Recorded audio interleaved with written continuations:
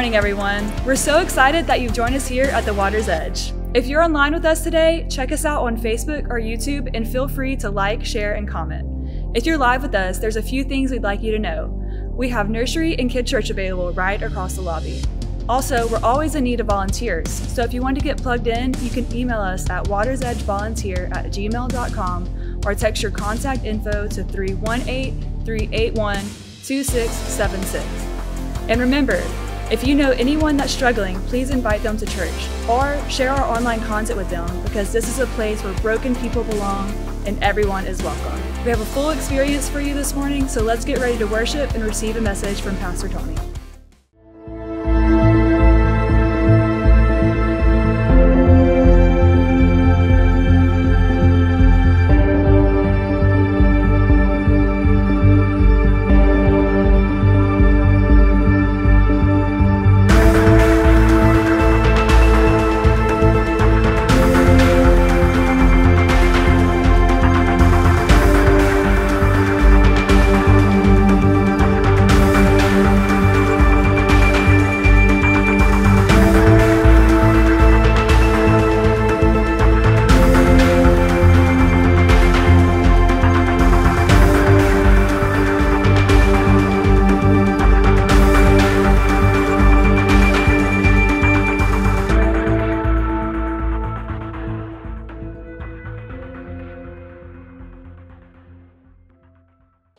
What's up, everyone? Good morning and welcome to our Water's Edge online Sunday morning worship experience. Thank you so very much for tuning in, hanging out with us. For those of you that continue to like and share these online worship experiences with your circle of influence, continue to do that. Thank you so very much for doing that. We absolutely appreciate it. People are tuning in and getting help from all over the place. Also, for those of you that continue to worship with us online through giving and generosity, the Bible says, For God so loved the world that He gave in John 3:16, that He gave His only Son. When you love, you give. And for those of you that give to our church, you allow us to help more people, love more people, feed more people, and serve more people. When we worship together through giving and generosity, God can do big things as we take our love to the streets. So thank you so very much for doing that. Today, we finish up with our current series called Evening and Morning, and this series has been about this. Whenever I have serious doubts and questions about my faith and about God, how do I deal with them? Now, let me ask you a question. Have you ever done something bad that you should not have done? I think we all have, but let's say that you did and you got caught, and the person or the people who could hand you the consequences, whether it was a teacher or a professor or a police officer or a parent or whoever, a boss or a manager. Let's say the person or the company or the organization or the people that could hand you the consequences after you did something wrong decided to let you off the hook. You messed up and you deserved the consequences but the people or the person who was able to hand out those consequences to you decided to not give you those consequences. What is that? I remember a few years ago, I had a wedding to do one Saturday night in Lafayette. And I had a, a, funeral to do also that day. And so, because of that, I was running late, leaving Lake Charles to go to Lafayette. I didn't get to leave Lake Charles till almost 5 o'clock. And, you know, with traffic on Saturday night, it was going to be impossible to make it to Lafayette in an hour. So, man, I was speeding down I 10 speeding down the interstate. And then it never fails. I saw the lights in the back rearview mirror, and it was the cop lights. I got pulled over doing 85 and a 65. And so the police officer, the state trooper, was talking to me. He goes, Mr. Bourque, why are you in such a hurry? So I tried to explain to him the wedding situation, that I was on my way to Lafayette, late for a wedding, just got finished with a funeral, that I was a pastor. And then he said this, he goes, Mr. Bourque, I clocked you doing around 85 and a 65. He said, But if you tell me that you were not wearing your seatbelt, that you didn't have it on, then I'm just going to give you a seatbelt violation.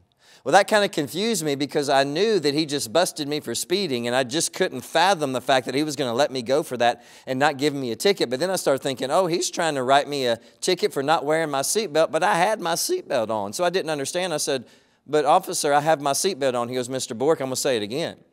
He goes, If you tell me that you were not wearing your seatbelt, then I'm just going to give you a seatbelt violation and you can go.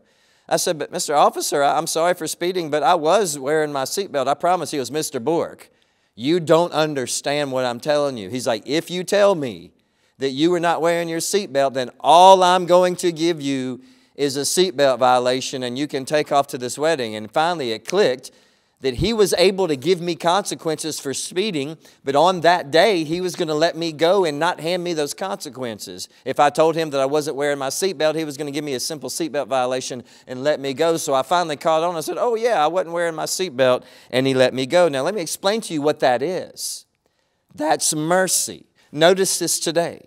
Mercy is when you don't get what you absolutely do deserve. I messed up, I got caught.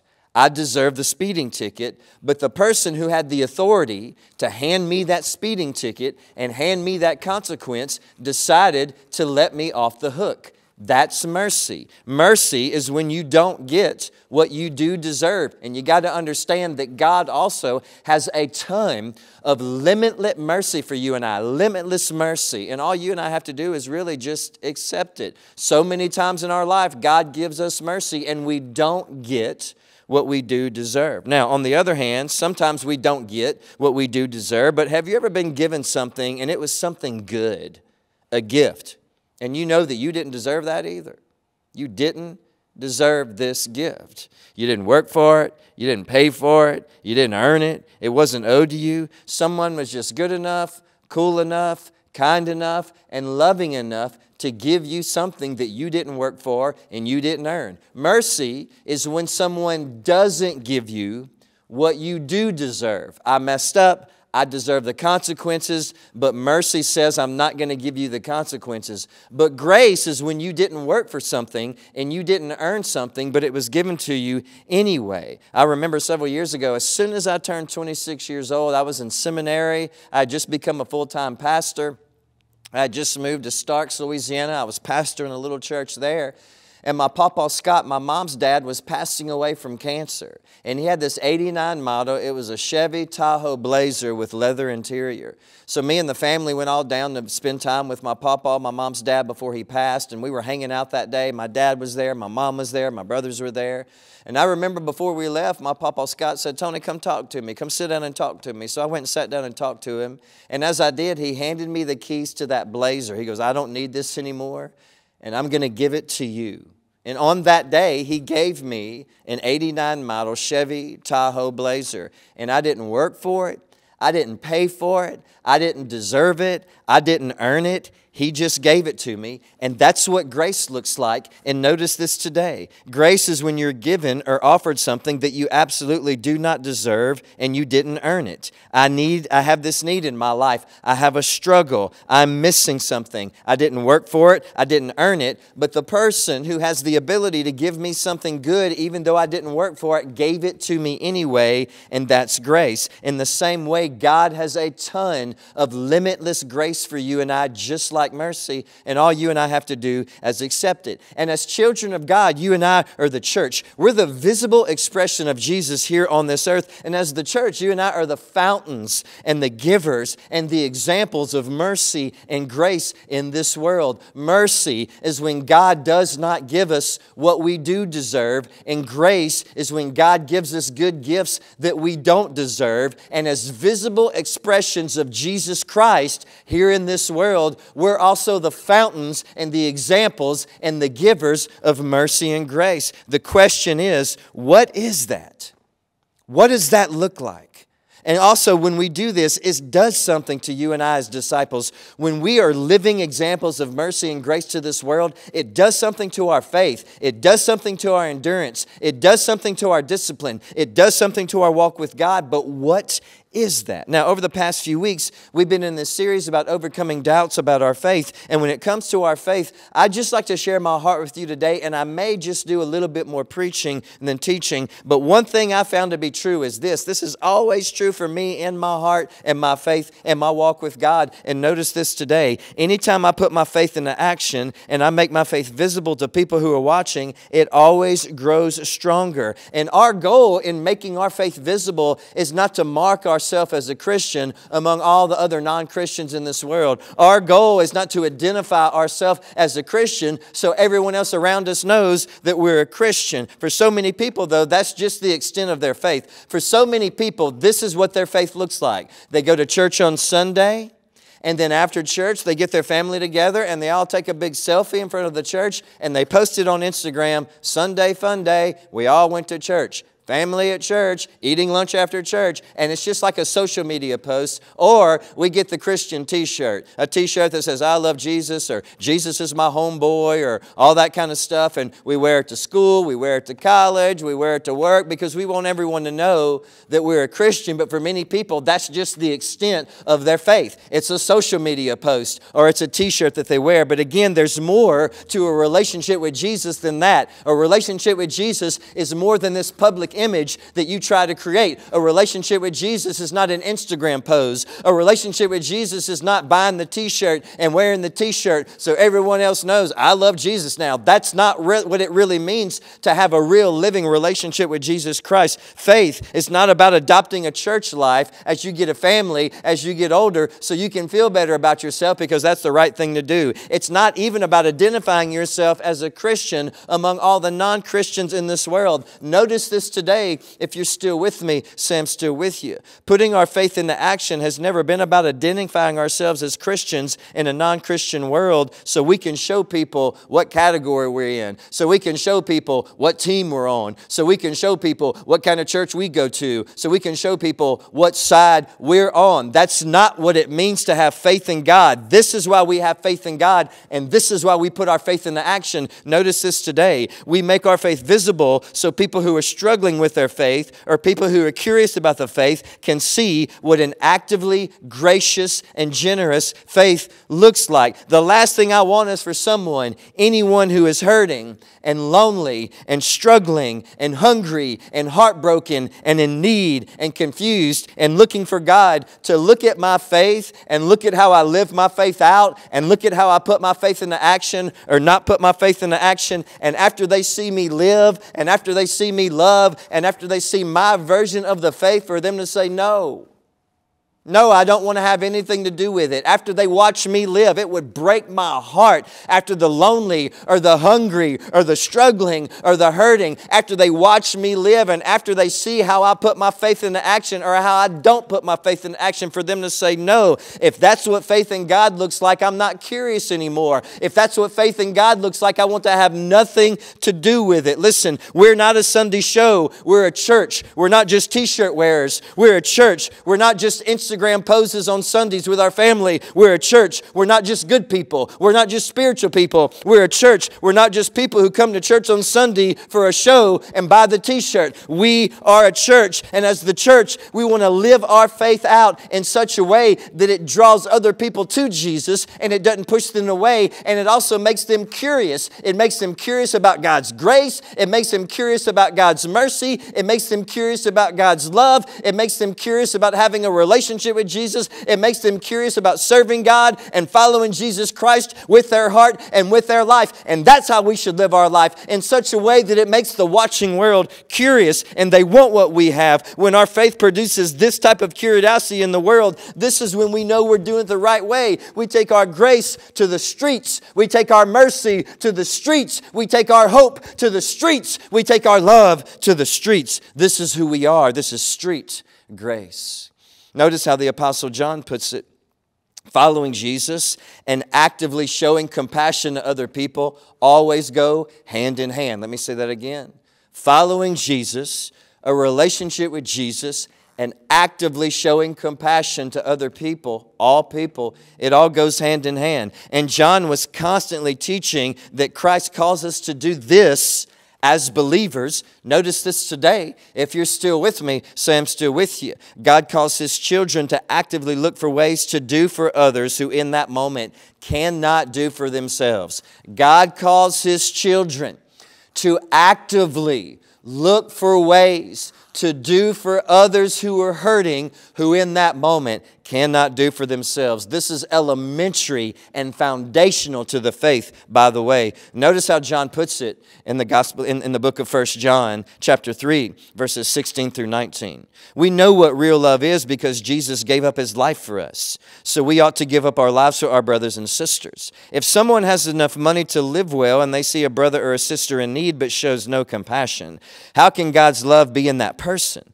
Dear children, let us not merely say that we love each other, but let us show the truth by our actions. Let us show the truth by our actions. Our actions will show that we belong to the truth, so we will be confident when we stand before God. Now, this isn't me saying this. This is the Apostle John. Notice the connection that John makes between your life, your faith, your love, your relationship with Jesus, and following God. We know what real love is because Jesus laid down his life for us, and we should lay down our life for our brothers and sisters. Notice how he connects our love to our giving. Notice how he connects our love in verse 16 and laying down our lives for each other and loving each other because we love God. Notice how he also connects that in verse 16 to how we use our material possessions in verse 17. This is not me saying this, this is John. If you say that you love God, if you say that you love people, and you have resources to help people who in that moment cannot help themselves, and you do help them, then you prove that you're living in the truth and your faith in Jesus is real. But if you say that you love God, and if you say that you love people, and you don't use what God has given you, your resources to help other people who in that moment cannot help themselves, then your faith is shallow or it's not real at all. If you can help but you don't, then your faith is not real, the Apostle John says. As we move on to the next passage, think about this question and notice this today. What barriers do you have in your life that prevents you from being more generous? What can you start doing now to change that? One way is to make generosity a priority. You know, every single month I have bills that I have to pay. I have to pay my house note, I have to pay my electric bill, I have to pay our car notes, our insurance, and all that type of stuff. But something that's also a priority to me every single month is my giving to God's house, my giving to God's church, so God's church can come together and be the visible expression of mercy and grace in the streets. It's automatic for me, it's a priority. The money that I give to this church is automatic automatic every single month because I know that it goes to a bigger purpose to feed people and love people and shelter people and help people and give people hope. It helps people connect with Jesus. They develop a relationship with Jesus. Then they get baptized. It helps people who are homeless find a group of people that love them. They find help. They find support. After that, many times they get into rehabs. After that, they get into their own apartments and they get jobs. And this is all based off of our generosity and our love when we have the the ability to help, we come together and we help. Notice what happens in John chapter 13, verses 12 through 15, as Jesus gets together with his disciples. It was an amazing scene here. After washing their feet, he put on his robe again and sat down and asked, Do you understand what I was doing? You call me teacher and Lord, and you're right, because that's what I am. And since I, your Lord and teacher, have washed your feet, you ought to wash each other's feet. I have given you an example to follow. Go and do as I have done for you. In this passage, Jesus, who is King and Lord, stoops down to literally wash the dust and the dirt off of his disciples' feet. Now, think about this. When Jesus was serving his disciples, he was expressing to them their identity as a child of God. You have to understand what Jesus was doing as he knelt down and he was serving his disciples by washing their feet. As he was serving them, he was helping them understand their identity in Jesus Christ and their identity to God. I'm serving you because I want you to finally see that you're loved by God. I want you to finally see that you're wanted by God. I want you to finally see that you're valued by God. I want you to finally see that you're precious to God. I want you to finally see that you're called by God. And so when someone serves us, that helps us see our identity in Jesus Christ. But Jesus also told them to go out and serve others by following his example. And so when you're serving me, that helps me see who I am to God. When you serve me, it helps me see that God loves me and God wants me and God has mercy for me and God has grace for me and God has hope for me and God has forgiveness forgiveness for me, and God has a new life for me. When you serve me, that helps me see my identity in Jesus Christ. But when I take my grace to the streets, when I take my mercy to the streets, that's when I find my purpose. When I serve others, it helps me. It brings fulfillment to my life, it brings excitement to my life, it brings joy to my life, it brings purpose to my soul. And so notice this today because this is so key. If you're still with me, I'm still with you. When we're served, we find our identity in God, but when we serve others, we find our purpose in God. Understand that today. When someone serves us because they love Jesus, that helps us see our identity to God. God loves me. But also, when we serve others, that helps you and I find our purpose in God. God has called us to serve. Now, very quickly, let's tie these two passages together.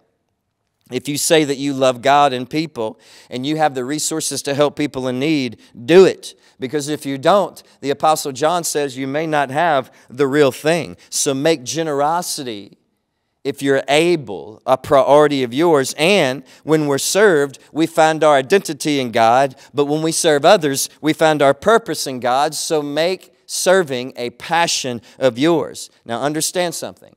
Every single Sunday, you and I gather together, we anticipate together, we pray together, we learn together, we worship together, but we should also come together as a ministry and take our grace to the streets by giving together. By giving together. The one thing that Jesus has always wanted us to say in our hearts is this, and notice this today Jesus, I'm simply available. You have to understand something. This church, the Water's Edge Church, has been a blessing to so many people. I remember one Christmas we gave over 600 bicycles to families who couldn't give their kids bicycles for that Christmas. We gave over 600 bicycles away. I remember one day, uh, one servanthood project we had at this neighborhood right behind the mall, we gave over 300 boxes of diapers away to single mothers for newborn babies. I remember not too long after that, we gave 150 box fans away one summer to the elderly because it was too hot for them to run their air conditioning unit units all day. On top of that, every single month we feed about 2,000 people through our food pantry, and every single week we feed about 75 homeless people from our community. We help, we serve, we give as a church. We help, we serve, we give as a church. We help we serve, we give as a church. We've been blessing to so many people, but we also want you to be a part of this ministry going forward, continuing to take our grace and mercy and love to the streets and to not let, and to not let this church just be a blessing to you. Let me say that again. We want you to be a part of this church taking our grace and love to the streets. And don't just let this church be a blessing to you, but you also be a blessing to your church so we can bless our city. Don't just let this church be a blessing to you. Don't just be a consumer, but you also need to be a blessing to your church so your church can continue to have a future and bless our community and bless our city. Here I am, Jesus. I'm available. It's awesome to receive. It's awesome to receive love. It's awesome to receive help. It's awesome to receive grace and mercy. But we all love that, but it's even much more better to give. Paul even said that in Acts chapter 20, verse 35. Notice this today. It's great, great to receive, but it's even better to give. He said this, and I have been a constant example of how you can help those in need by working hard. You should remember the words of our Lord Jesus Christ. It is more blessed to give than to receive. It is more of a blessing to give than it is to receive. So let's all do this together. Let's all use our resources together to do something big, amazing, and fun next month in December. We will all miss out on so much joy, purpose, and excitement if we don't do this together. We miss out on so much joy, purpose, and excitement when we don't worship together, when we don't serve together, when we don't pray together, but we also miss out on so much when we don't give together. So, starting this December, next month, on December the 17th, Sunday, December the 17th, we're going to have something called Future Sunday. And I want us to do it big on this Sunday. But this is what our Future Sunday is going to be about on December the 17th. It's going to be about faith, it's going to be about vision casting, inspiration, purpose, love, grace, mercy, and giving to make sure that our future is strong. On that Sunday, we're going to be taking up something called a vision offering, and that vision offering is going to be going to a very specific ministry in our church to help that ministry do more ministry, help more people, give grace and mercy to more people, give love to more people, give compassion to more people, give service to more people, give God to more people. And so this year, our vision offering on December the 17th is going to go to the food pantry. This is what we're going to call it. Notice this today Merry Christmas food pantry. And on that day, this is what we're going to ask you to do. So we need all you online listeners to maybe show up in person December the 17th, 9:30 or 11:15, and we're going to take up our uh, future Sunday vision offering. And this is what we're going to ask you to do: bring box goods for the food pantry, box goods, canned vegetables, canned goods, or peanut butter, peanut butter as much box goods, as much canned goods, as much peanut butter as we can take up on that day to stock our food pantry, bring it. We'll have an area in the lobby on December the 17th for you to bring your box goods, your canned goods, your jars of peanut butter. If you say, Tony, I don't have time for that, then bring $10. That'll help us buy food. And this is our goal.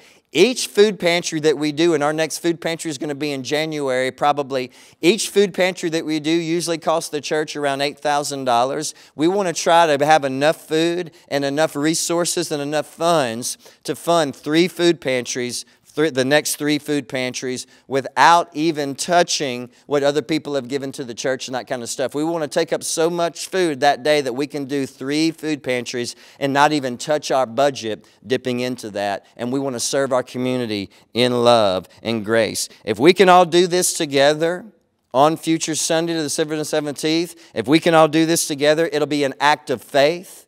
It'll be an amazing thing. It'll be a miracle for us, really. But more than that, it'll be fun, exciting, and full of purpose. And we can all do this together. So, future Sunday, December the 17th, let us see your face. Bring some box goods, cans goods, peanut butter, or just bring an offering and it'll, go it'll all go to our next three food pantries and it'll bless our community because that will allow us to feed almost 7,000 people from our community. 7,000 people. Thank you so much for hanging out with us today. Let's take our mercy and grace to the streets. Now continue to stay plugged in, stay tuned in for an amazing time of worship with the amazing Waters Edge worship team. We love you all. We cannot wait to see you back next week.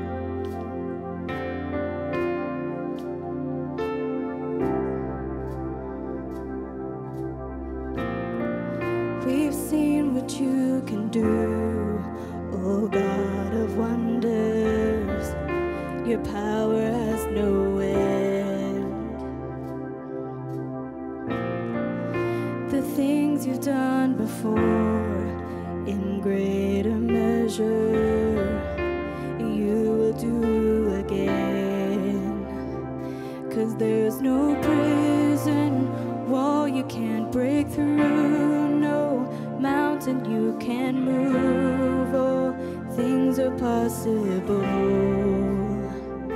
and there's no broken body you can raise, no soul that you can save.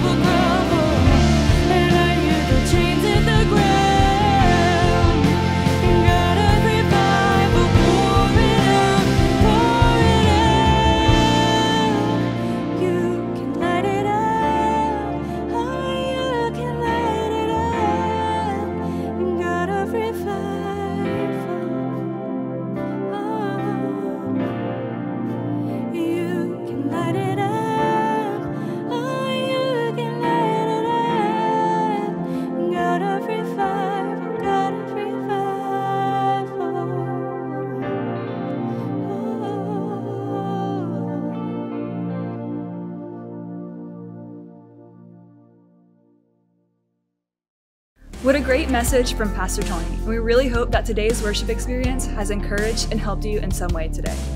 If you were moved by today's service and want to stay tuned in the rest of the week on social media, check us out at Waters Edge Gathering on Facebook or Waters Edge underscore LC on Instagram. You can also download our app where you can do online giving, listen to worship songs, and replay messages from Pastor Tony. If you want to learn more about salvation and baptism, want to volunteer, or need a prayer request, visit our Welcome Center in the lobby and one of our volunteers will take down your information. We absolutely love you guys and can't wait to see you back next week at the Water's Edge where everyone has a place to belong.